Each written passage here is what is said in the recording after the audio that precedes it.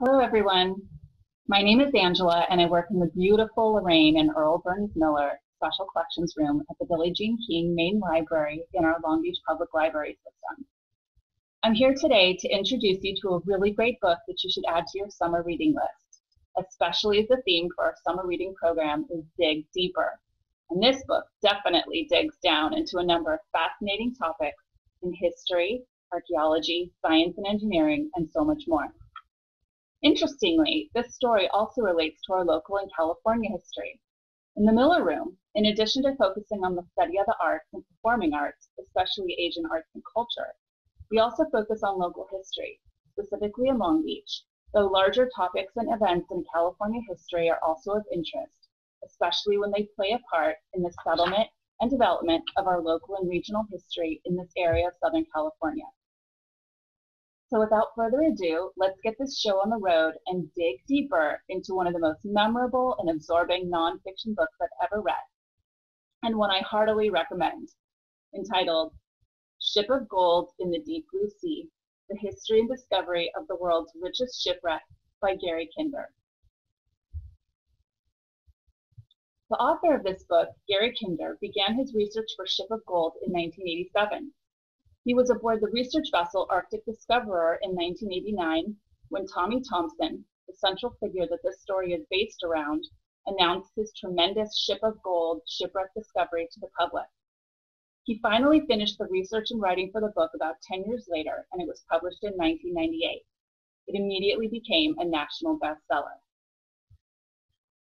This book begins with a major historical event that very quickly helped launch California into becoming our 31st state, namely the discovery of gold at Sutter's Mill in 1848 near present-day Sacramento in Northern California. This quickly led to the California Gold Rush, bringing an estimated 300,000 people or more to the state from around the U.S. and the world. Many places around California, including this area that eventually became Long Beach, were settled and developed in part due to the population boom and wealth arising out of the gold rush. This increase in population and wealth from the gold rush also led to enhancements in transportation routes between California and the East Coast. And in 1855, after the Panama Railway was completed, which crossed the Isthmus of Panama, steamship companies began running consistent service between San Francisco to Panama. Passengers, mail, and goods from California would be offloaded in Panama on the Pacific side, journey by train across the isthmus, and then board steamships on the Atlantic side for transport up to the eastern coast of the US. And that's where this story really begins, with a group of people who leave California in 1857 aboard a steamship to Panama, where they crossed the isthmus and boarded a 280-foot side-wheel steamship called the SS Central America, bound for New York City. Though they eventually find that things take a drastically different turn than they expected. In addition to passengers and mail, the ship was heavily laden with about 20 tons of California gold. Though accounts as to the actual number of tons vary, it took the form of coins, gold dust, nuggets, bars, and more. And some of it was also intended as a much needed shipment to banks in New York to help support the national economy.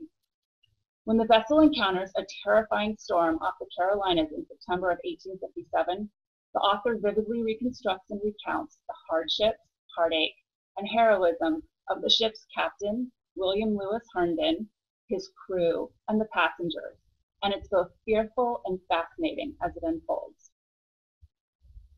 Ultimately, the ship was doomed. A New York newspaper from the time, Frank Leslie's Illustrated newspaper, reported the last moments of the Central America.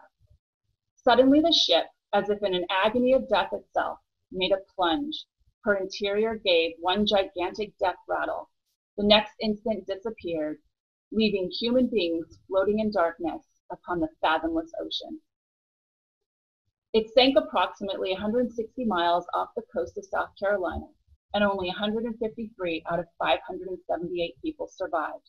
Nearly 75% of the souls on board perished.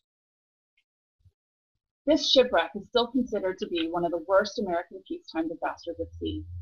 Furthermore, the accounts of the shipwreck, retold by those who survived and the crew members of the vessels that rescued them, made this tragedy one of the biggest news stories of the 19th century.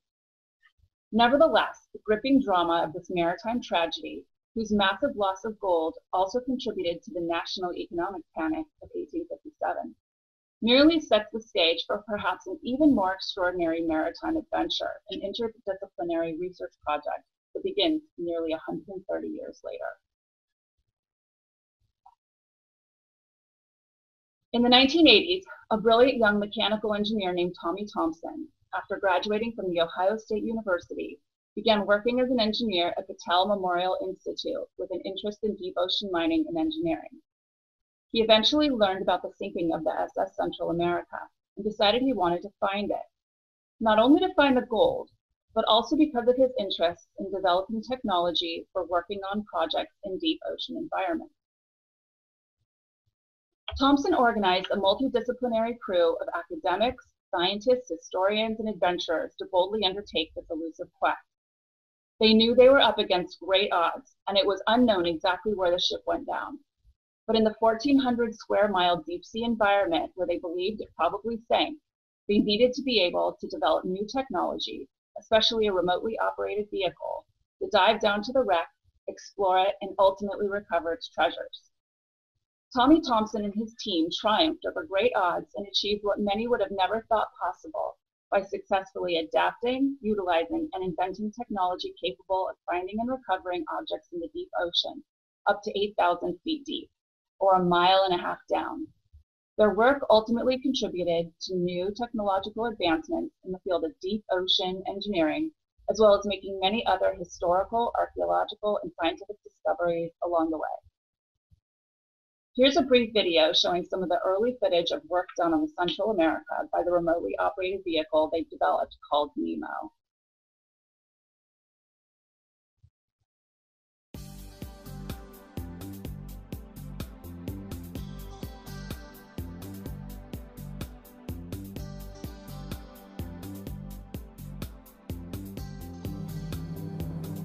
Arctic discoverer heading out to the deep blue sea.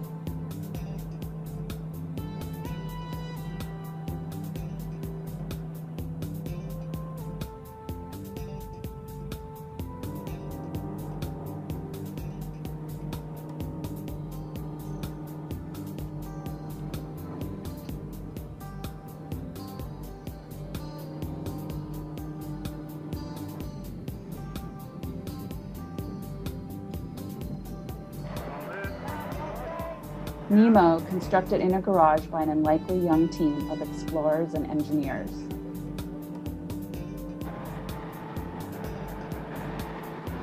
Here it is being launched to begin its hours long journey of almost 1.5 miles to the final resting point of the SS Central America.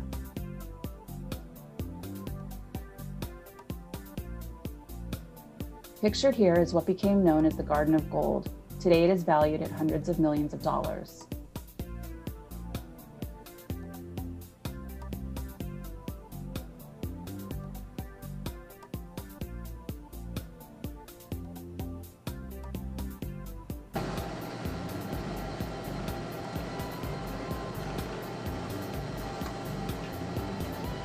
Nemo is blowing silt away as the team constructs a game plan to recover gold.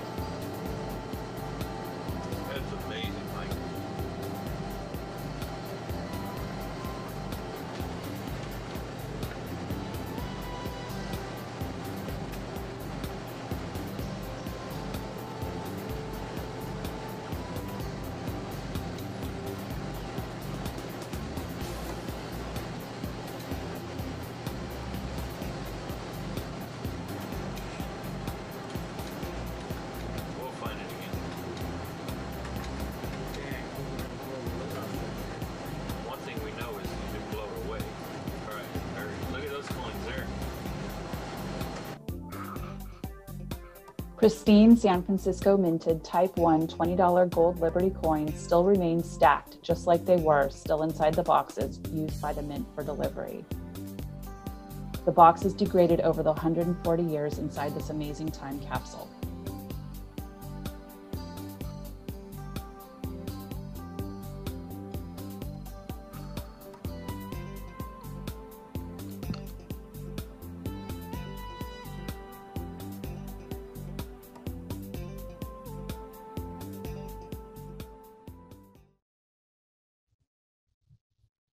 After the discovery, Thompson wrote a book called America's Lost Treasure, a pictorial chronicle of the sinking and recovery of the U.S. mail steamship Central America, the Ship of Gold. People started coming out of the woodwork wanting a piece of the pie, as one newscaster put it. Not only the investors, but also up to 39 insurance companies and other people. In 1996, after protracted legal battles, Thompson was finally awarded 92% of the treasure that he and his team had recovered. But even after Ship of Gold was published in 1998, the story still continued, eventually taking on a more shadowy dimension. Dramatic events continued to unfold with Tommy Thompson in the courts, in the news, and on TV up to at least the year 2018.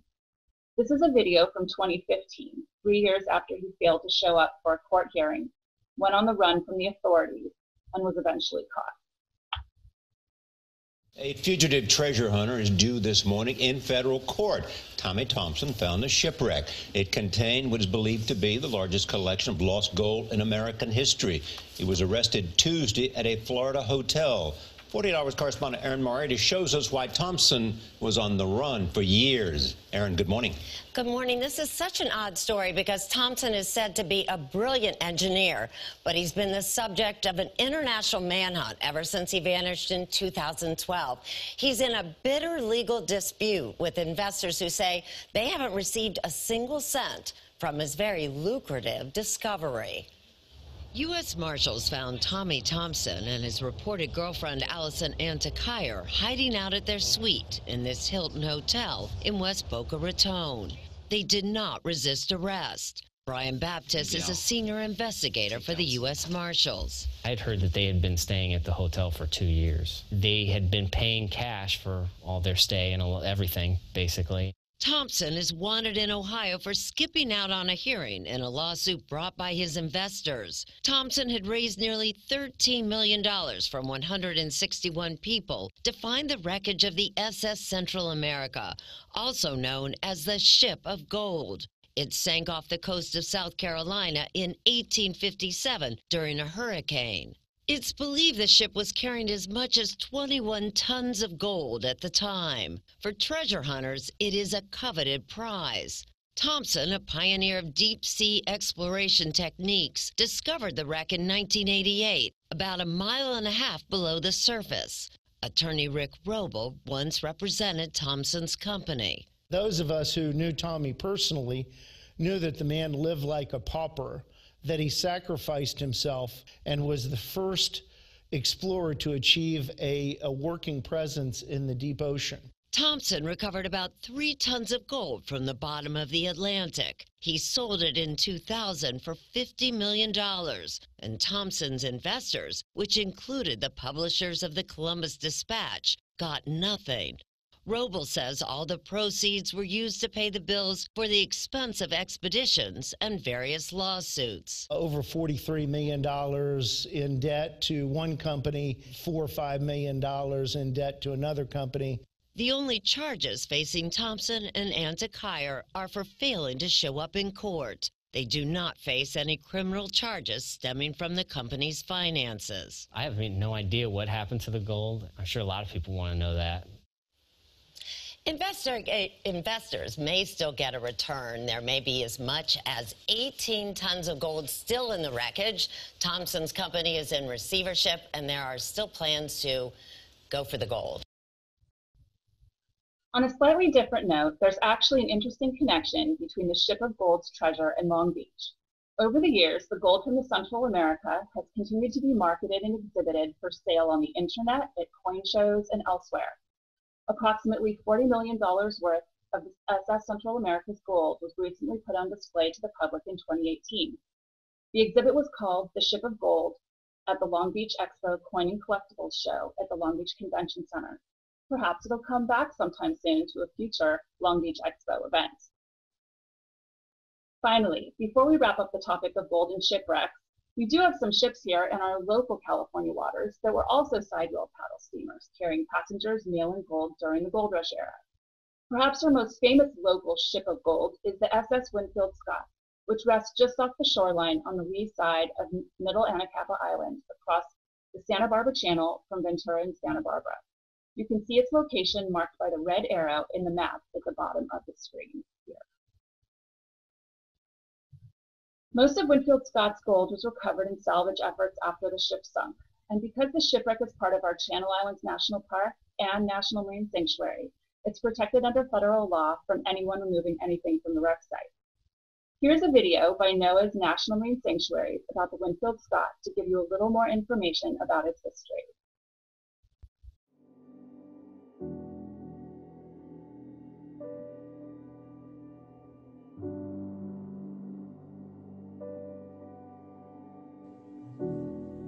Off the coast of Southern California, Channel Islands National Marine Sanctuary protects habitats like lush kelp forests and mysterious sea caves. It also protects a collection of shipwrecks that tell stories of our maritime past and serve as habitats for creatures today. One of these wrecks is the Winfield Scott. Beginning in 1852, this sidewheel steamer traveled the Panama route, bringing gold prospectors from Panama to the goldfields of California.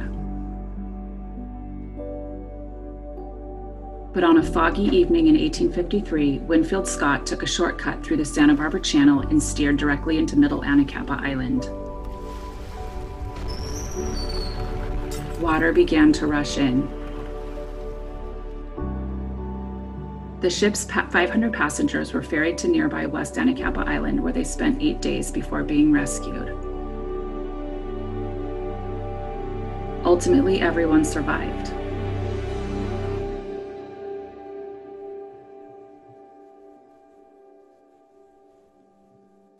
Today, Winfield Scott rests on the seafloor within Channel Islands National Marine Sanctuary and Channel Islands National Park. Swimming through the shipwreck, it's easy to imagine the California gold rush history that brought so many seafarers through the area.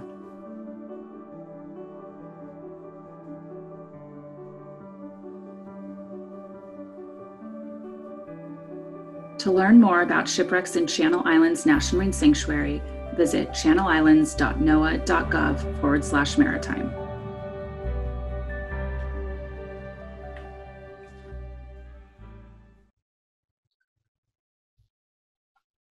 You can learn more about this shipwreck and other local submerged cultural resources online via the Channel Islands National Park website or the Channel Islands National Marine Sanctuary website. You can also visit the Channel Islands National Park and National Marine Sanctuary to see some of these shipwrecks and islands up close and personal, whether diving or snorkeling, kayaking, boating, or just enjoying a hike around the islands that are open to the public. We also have other books and media in the library about shipwrecks you may want to check out, such as these right here. Great Shipwrecks of the Pacific Coast by Robert Belyk. Also Graveyard of the Atlantic, Shipwrecks of the North Carolina Coast by David Stick.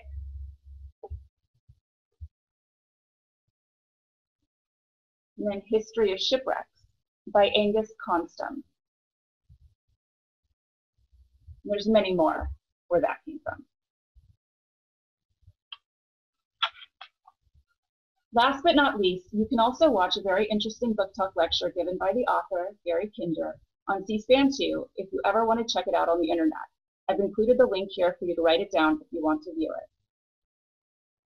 In summary, Ship of Gold is a book that I repeatedly recommend to both men and women, specialists and non-specialists alike. I think it's one of the most well-written, imaginatively envisioned and intriguing tales of historical research, scientific ingenuity, and inventiveness, and unyielding perseverance told in recent decades. It's still a relatively easy read for the layperson, despite some of the historical and scientific subject matter, and technical jargon is understandable and explained in a way that's interesting and well-defined. Finally, don't forget to check out Thompson's book, America's Lost Treasure, to see full-color photos of the entire project from beginning to end, with tons of pictures of the stunning gold and fascinating artifacts recovered as well. This book will take you on an incredible adventure with an unforgettable story that you won't want to put down until it's done. So put these books on your list or reserve a copy at your local library. It's a solid gold adventure story and it's definitely worth a read. So with that, I just want to thank you for joining me this for the summer reading program book talk with the Miller Room. I also want to encourage you to sign up for our summer reading program if you haven't done so already. Go online to longbeach.beanstack.org and register for our reading challenges. That way you can earn prizes and other fun stuff for the reading you're doing this summer. And if you've already signed up, enter the code SUMMER into the activities tab of your reading challenge to be able to earn points for watching this video today. All right, so have fun continuing to dive deeper into more summer reading books and topics like this one. Thanks again and happy reading. Bye.